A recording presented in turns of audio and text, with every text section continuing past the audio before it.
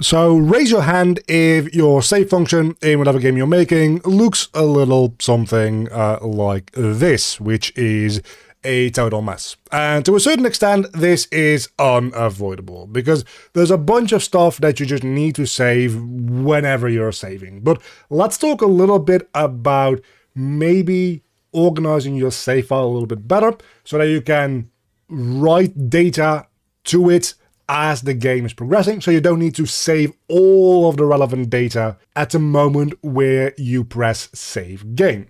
And in some cases, this might even be necessary to do if you want to save data that pertains to a level that is currently not loaded. So I'm here in a separate project real quick, uh, just something blank.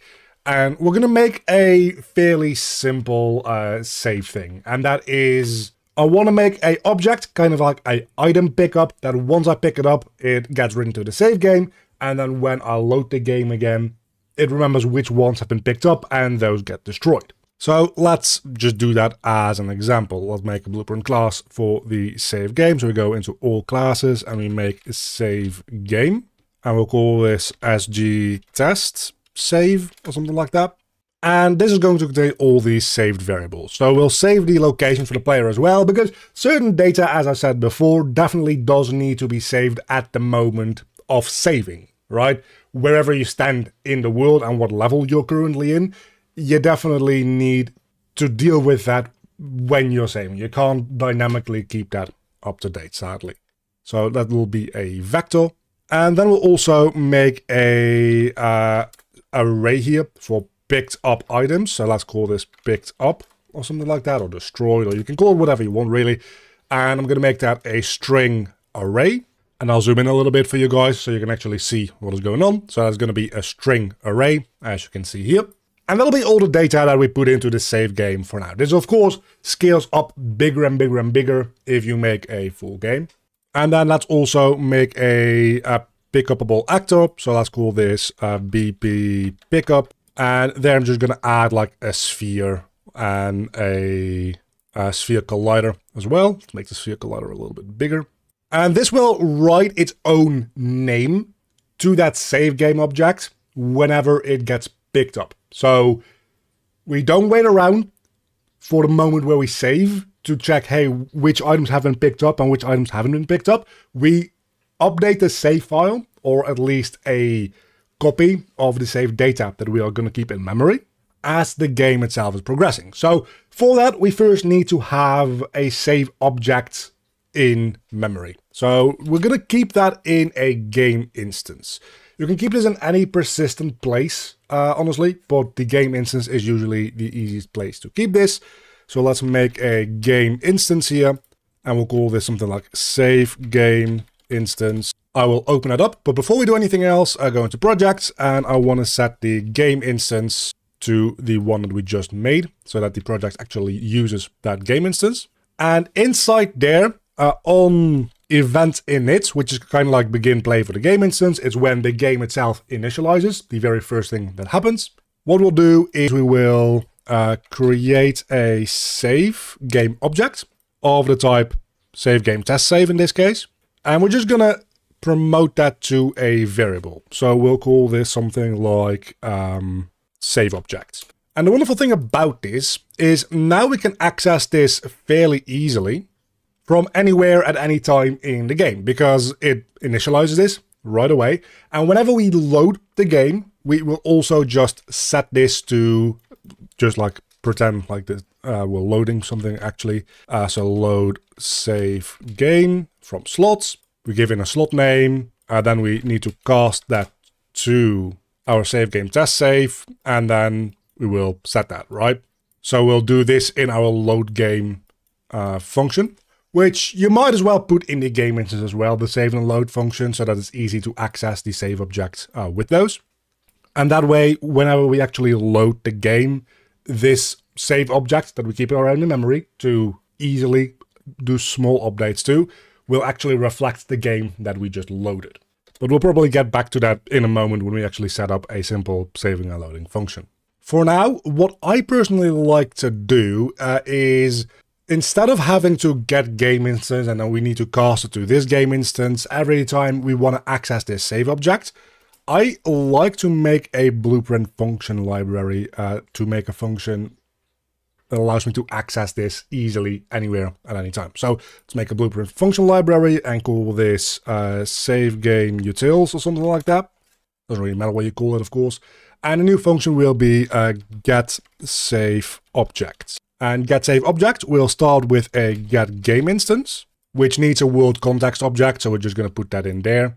Uh, this is effectively always just going to be a reference to self. Uh, but the blueprint function library itself doesn't exist in any world, so it needs to be given in a context object. Uh, then we're going to cast this to the that we just created. And then we will get the save object, which we will put in as a return value. So now anywhere in our project, as long as we can give in a world context object, we can very easily get this save game instance. And we could even make this a pure function if we wanted to, uh, if we don't want to bother with uh, execution pins, which is always kind of nice. It's technically slightly less optimized, but it doesn't really matter.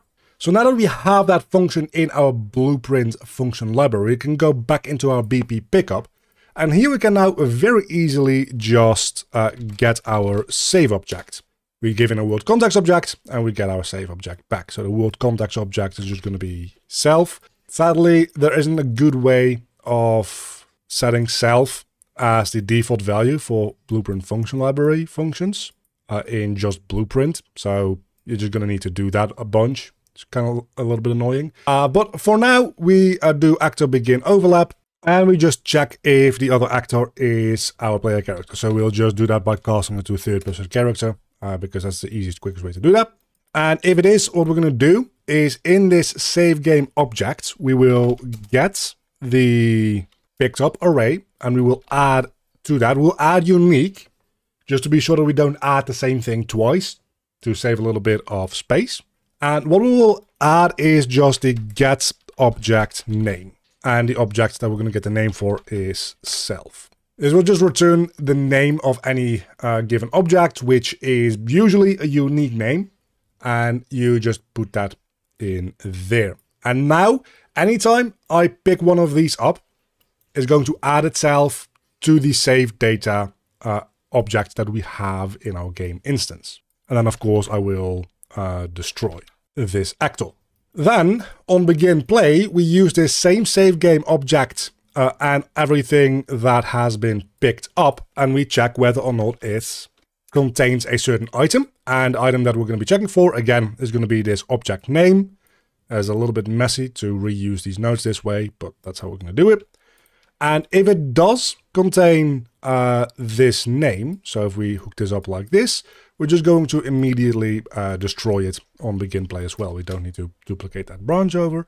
And there we go.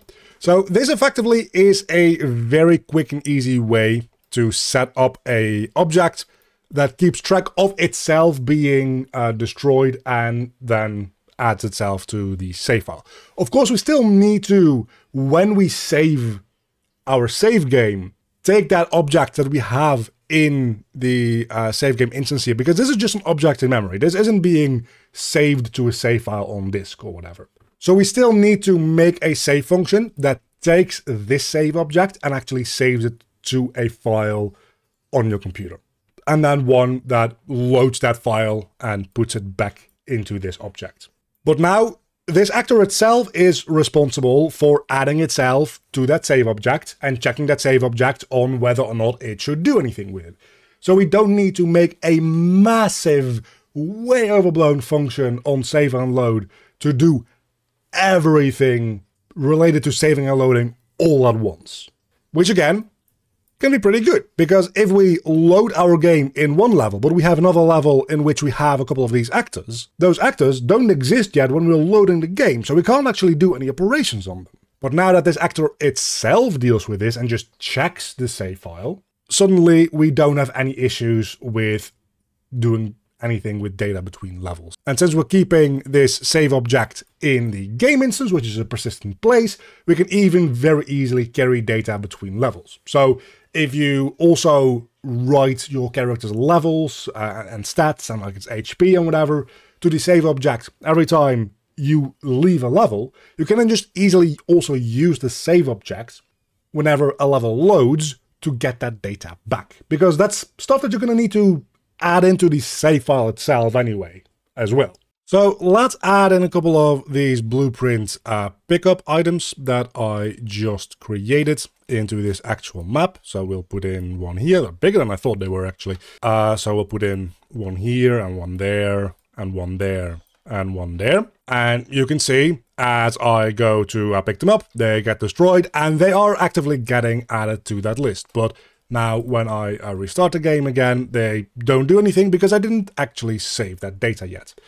And because of how uh, this all works, what we actually do want to do is we want to make a, a new level here real quick.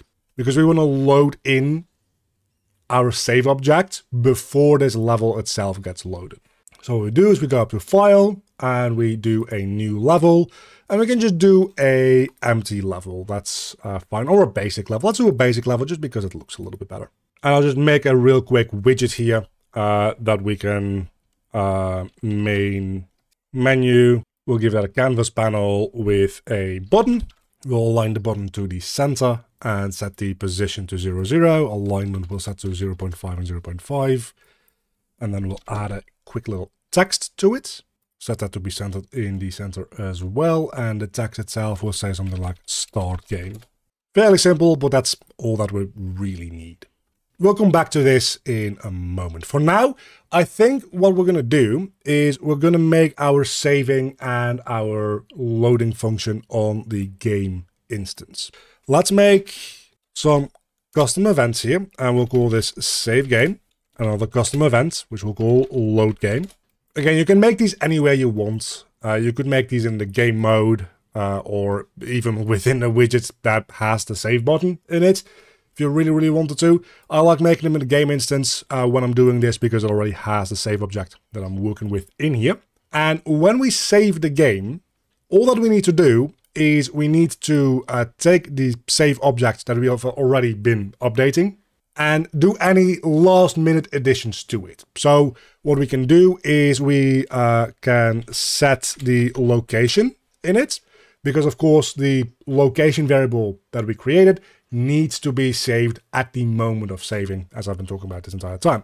So we can just get the player character and get actor location and provide that in as our save location.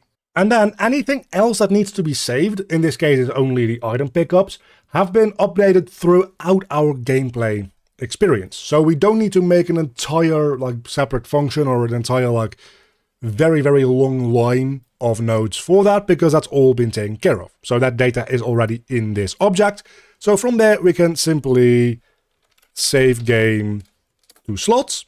Uh, and in this case, we're just going to call this uh, save game.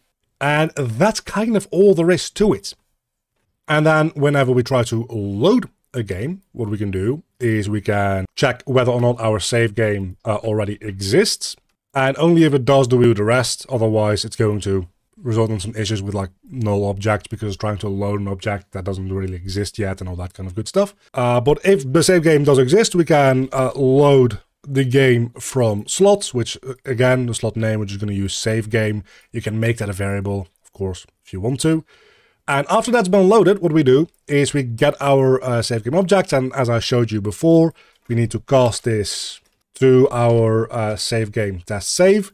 And we're just going to set that we're just going to get all the values uh, that we saved in this function, which again, most of that is being written to the save game object as the game progresses, except for things like location or maybe something like health or like player level or whatever.